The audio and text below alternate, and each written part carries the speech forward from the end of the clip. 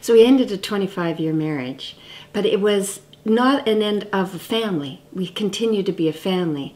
So when we separated, because he's a lawyer, I decided I'm not going to get a lawyer because it doesn't make sense. So I just said, You give me what you think is fair. And he said, I'll give you this. And I said, I don't need that much. And he said, You deserve more. And so what we've done is we've just worked it out as a family. And so it was a bit tough maybe for the first year, but if we persevered, we still do all the family things. I phone him for directions if I get lost because I'm directionally dyslexic and he knows how to give me the perfect directions. He's the only one in the world that loves my children as much as I do why wouldn't I want to talk to him? So we talk to about the children all the time, and we talk, and we can actually now have better conversations than when we were married